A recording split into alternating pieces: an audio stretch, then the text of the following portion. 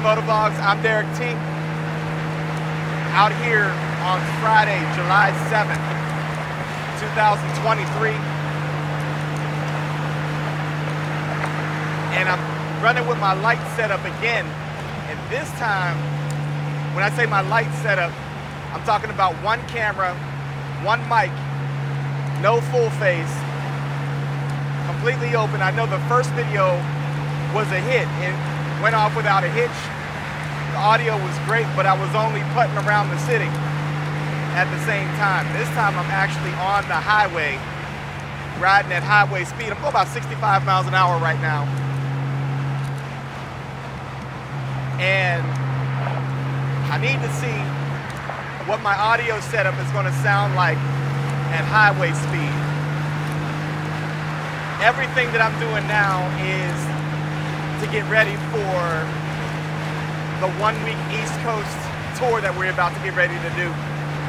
Uh, where we're gonna run, we're gonna run out to Memphis, Tennessee, to the National Biker Roundup, but we're gonna see a few cities along the way. I think you're really gonna like the content from that trip. That's coming up at the end of the month, so I want to know what works. I want to know what doesn't work, so that by the time I get ready to embark on the trip, I'm not struggling at all with footage that I can't use.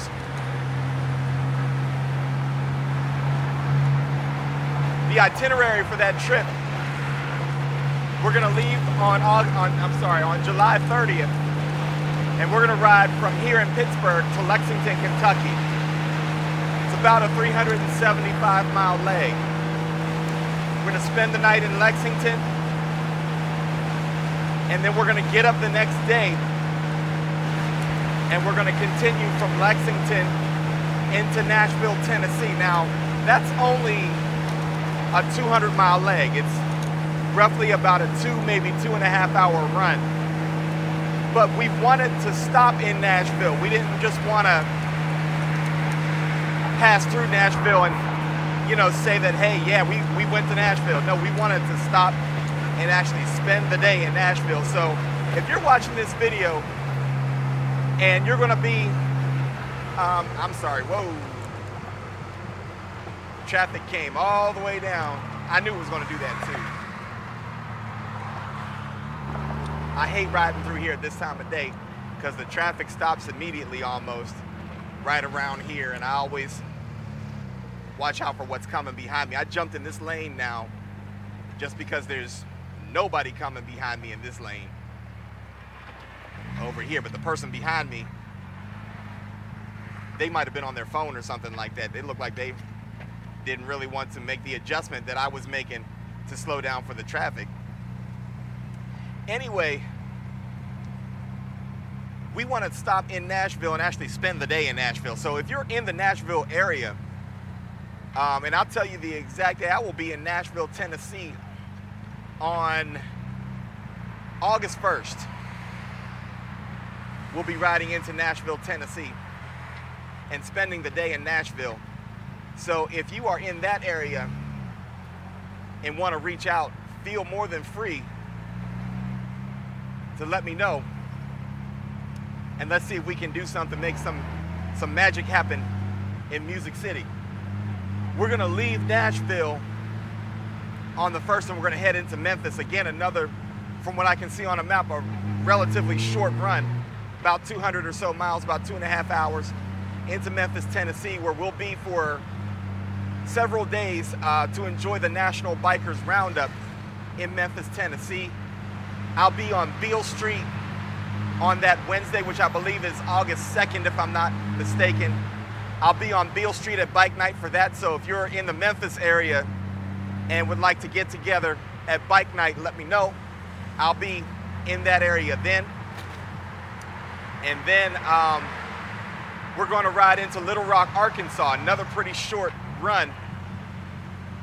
But we're going to run into Little Rock, Arkansas for it and spend a day there. Going to do a turn and burn from Memphis to Arkansas and back to Memphis um, after we spend a few hours there. And then we're going to start our way home. And instead of uh, running back the same way we came, we're going to go through Nashville again, but then we're going to go to Louisville, Kentucky instead of Lexington. Again, just the whole point is to see something different. And then from Louisville, we'll head it back into the Steel City after that. And so that's uh, what the plan is for the week of July 30th going all the way to August 7th. And so I want to test all of my equipment and make sure everything is good to go. Uh, Freedom, my, my 1998 Goldwing GL 1500 Aspencade has been serviced. All of the fluids have been swapped out. Uh, oil change, coolant, um, my brake and uh, my brake cylinder up here and my clutch cylinder have both been topped off. I'm all fluid and ready to go. Maintenance and ready to go. So now I'm testing the cameras and the different vlog setups. There'll be different times when I wear the full facer on the highway. When we're going that far, I like to wear my full face. But then when we're actually riding around Memphis and everything else, I like to go to this setup so that we have a little bit of a, you know, I can get a little bit more fresh air and I'm sure it's gonna be good and hot down that way and everything else. And I'm sure we'll probably run into some weather as well. So I'll have the full face helmet with me. I'll be able to run either setup. But I really wanted to test this out and see how it sounded at highway. Only problem is I'm stuck in traffic right now. So I'm gonna get back to you once I get on the other side of the Fort Pitt Tunnel over here where we can get some more audio on what I sound like at 65, 75 miles an hour. I won't tell you anything above that because here at Steel City Motovlogs, we like to obey the laws.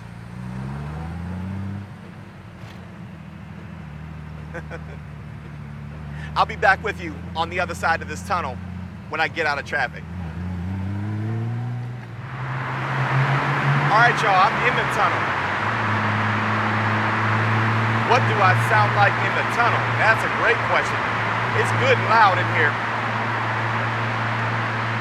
for obvious reasons. I can barely hear myself talking, so Lord knows what the microphone is picking up right now. But the one thing about this DJI is it's pretty good at filtering out all of the background noise so that you just get my voice. But it can't get everything. I'm not naive enough to believe it's filtering everything out. At least I'm not riding all the way to Memphis in a tunnel. All right, you all, I'm back with you. I think when I left off, I was talking about getting the bike ready for the trip. And I've done all my maintenance, so I'm good on my maintenance. Ready to go with that. The other thing that I did yesterday, and I didn't record it, just because it was so hot outside yesterday. It was about 90 degrees yesterday. So I just wanted to get it done but I did clean the bike, uh, which was well overdue. It was borderline neglectful on one end. Just because I had been neglecting my responsibility to keep my bike clean, but on the other hand, it was dirty because it's been written. It's being written, you know? So I guess two things can be true. Because I guess if you shine your bike up and leave it in your garage, it'll stay shiny. But when you're out putting miles on, your bike will wear the evidence of it until you decide to clean it. so I got it all shined up and everything else. I'll, I'll do a walk around when I get over here to the jailhouse saloon is where I'm on my way to. I'm going to meet up with one of my club brothers. We're just going to grab some wings. It's happy hour. It's Friday. And I got nothing else to do.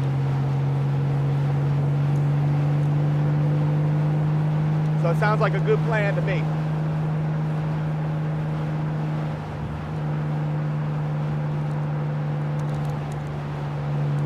Again, this sound test is me at about 65 miles an hour right now. Um, although I'm slowing down because that's what traffic is doing. Top speed so far, I believe I've been around 70 and had a chance to do some talking at 70. It's like every time I hit the throttle, somebody hits their brake lights. Right through here. I don't know. I think people get nervous for whatever reason.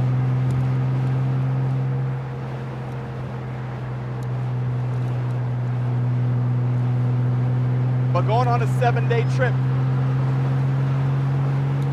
at the end of the month, this is going to be roughly about a 2,500 mile round trip. So we're going to put it in. We're going to put it in. We're going to have a good time doing it.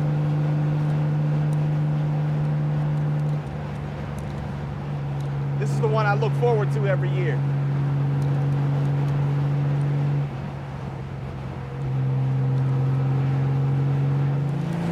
This is me at about 75 miles an hour.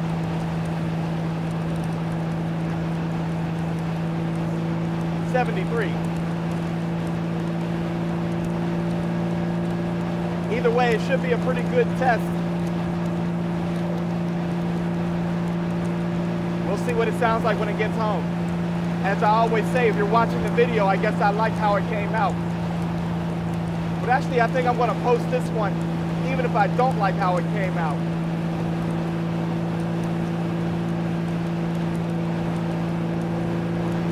That way, if you decide to go with this setup for yourself, you know what you're getting into.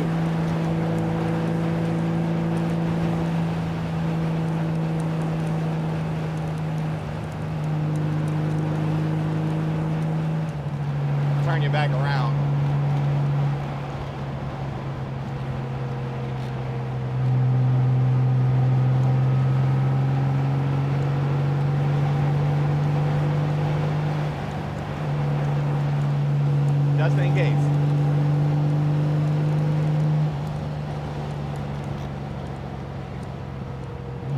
That should be good, right?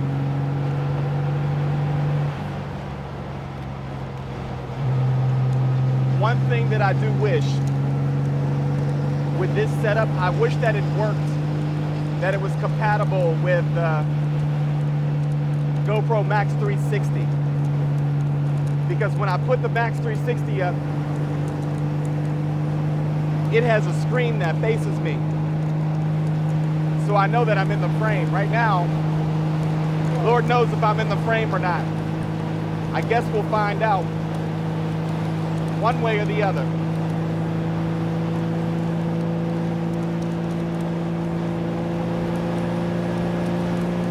See if I can get a little bit of wind.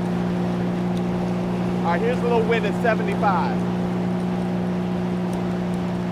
Like I said, I don't know how well you can hear,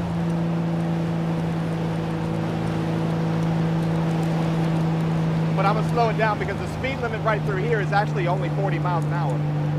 So I don't need to be going 75 right through here. And then posting it on YouTube and incriminating myself. Y'all, that actually happened. Completely unmotorcycle related. Completely unmotorcycle related. We had some people, there's a, uh, there's a mall in the Pittsburgh area that you can go Google about. It's called Century 3 Mall. Century 3 Mall has been shut down for a number of years now. And it's one of the, according to those people who recorded the video, it's one of the largest malls in the country that's shut down and completely unoccupied. And it's actually a pretty sad story because when I was a kid, Century 3 Mall was kind of like the place to be. But either way, you know, it's decayed. It's, you know, it, it's really falling down from the inside out. whoever buys that land is going to have to knock that building down and start over with whatever development project they're going to do. But these people decided to break into the mall and then shoot a whole documentary about the mall, which I give them credit for. They were from Youngstown, Ohio, which is not terribly far from Pittsburgh, only about an hour. Um, but they they decided to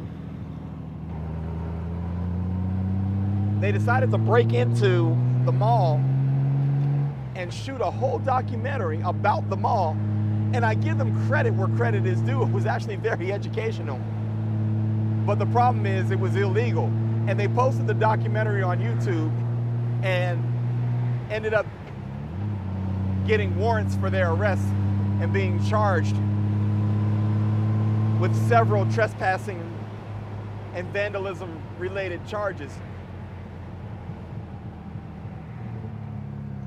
So I guess if I'm going to be speeding around town, I guess the moral of the story is if I'm going to be out here breaking the rules, maybe I shouldn't be posting it on YouTube. but yeah, um, I hope I'm in the frame. Because with, with the Hero 8 black facing me, there's no screen on it. And that's just not enough reason for me to buy a Hero 10 or a Hero 11. I think one of those actually do have a screen on them, a front-facing screen, but that's not enough reason for me to go get one. I like what I got, stick with what I got. I just hope I'm in the frame for this clip. And if not, I'll probably post it anyway as a blooper. Adjust it just a little bit. Let's see if that works.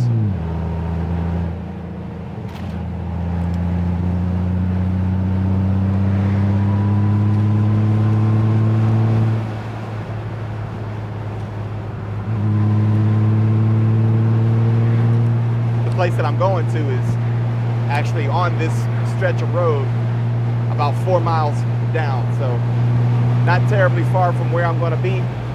It's 501, which means it's five o'clock somewhere, right? Let the happy hour festivities begin. Although I'm not a drinker. I'm not a drinker. Coke or Pepsi is kind of like my poison of choice. So I'm coming for the fun, I'm coming for the fellowship, I'm coming for the food. Everything else, I'll pass. I don't judge people who do drink. It's just not my thing. I definitely would be here by now if I would have gone the other way. Actually, if I would have chosen to even avoid the traffic at the tunnel and peel off to the right. I could have gone around all of that and I would be where I'm going right now. But like I said, I wanted to get that audio test in on the highway. It's all good. It's all about the ride, not even the destination, right?